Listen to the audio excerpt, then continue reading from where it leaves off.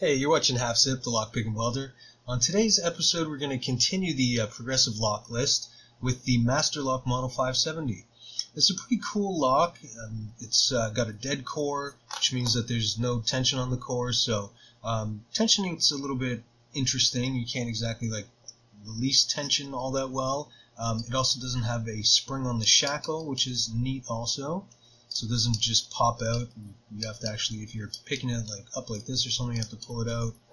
I usually pick it upside down so that it just kind of falls out. Um, it's a it's a neat lock, you know, it's a master lock, so it's nothing too crazy. It does have security pins.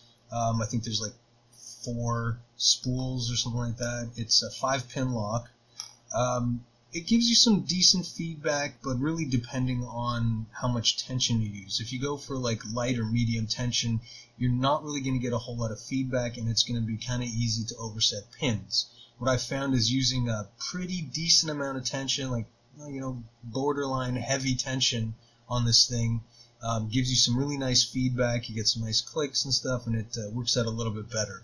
Um, I've got the Medusa out again because I figured I would uh, give it a try raking it now again with the, the tension, you know, with the dead core, it's going to make it a little bit interesting. I can't be too light with the tension, but we'll see how it goes. Uh, the Medusa's been pretty good for me, so I figured why not give it another try. So uh, we'll do that. Okay, so first off, again, I'm going to try to uh, rake it open with the Medusa. So I'm going to be using the bottom of the keyway tension. Just works out a little bit better for raking so that you don't pull the uh, tension tool out. And, uh, I mean, medium tension, I guess, nothing too crazy, but uh, not too light either. So I'm just going to get it in there, just give it some tension, and, uh, oh wow.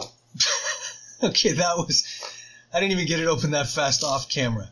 So, uh, there we have it. Let's just see. That was incredibly quick. I want to try that one more time, just in case that was some kind of fluke. What's interesting about this particular lock, not the 570 in general, but my 570, is that occasionally when I open it, it's super tight. Like the core um, just doesn't want to turn, and I'm almost wondering if there's like a, a I don't know, a pin that's getting stuck or part of the spring is getting stuck, but anyway.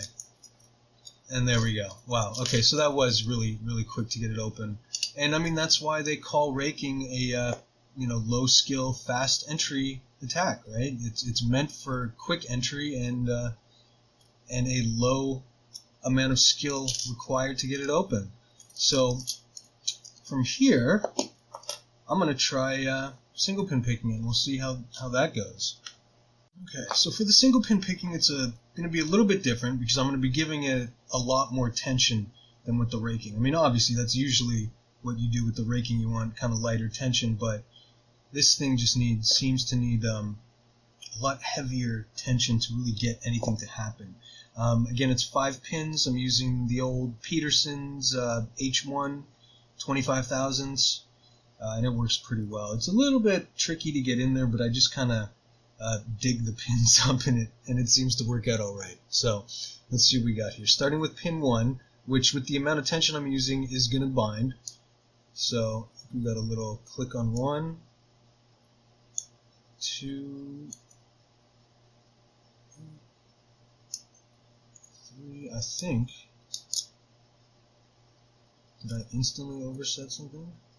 No, I mean, one definitely seems...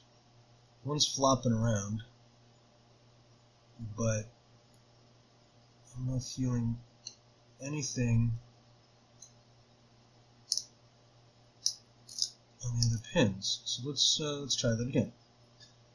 So decent amount of tension, get under one. If I can. There we go. Okay. Okay, so click on one. Moving on to two, got a little click on two. Okay, we dropped into a false set on three. Four. Four is binding, counter rotation. And, uh, okay. I have another one that, like, I swear I only touched four pins. I mean, it's tough to say looking at the key, but it almost looks like three and four could be at shear. I mean, they're pretty close. Maybe four is a little bit higher, one of them maybe, but well, whatever. That was uh, the Master Model 570 uh, raked with the Medusa and uh, single pin picked with the uh, Petersons. So that was the Master Model 570. It's a pretty neat lock. Um, another kind of cool thing about this lock uh, is the uh, the core, or the cylinder, yeah, the core. Um, when I first got this, well, I actually bought it because I saw this in the picture and I figured, oh, it's it's repinnable. That's that's awesome, right?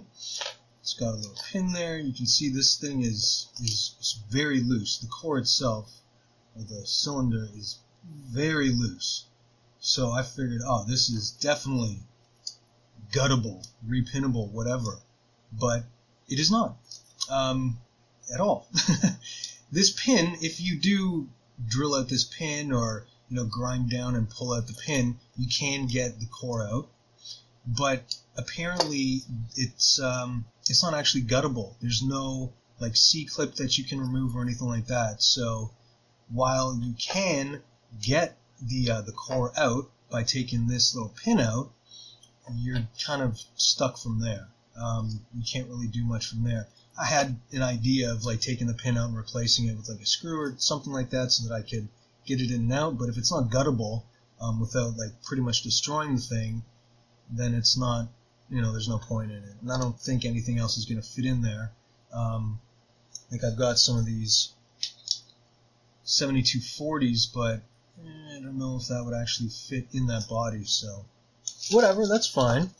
They're just trolling us with this fake rekeyable or fake removable cylinder. But anyway, Master Lock Model 570, uh, raked and single pin picked.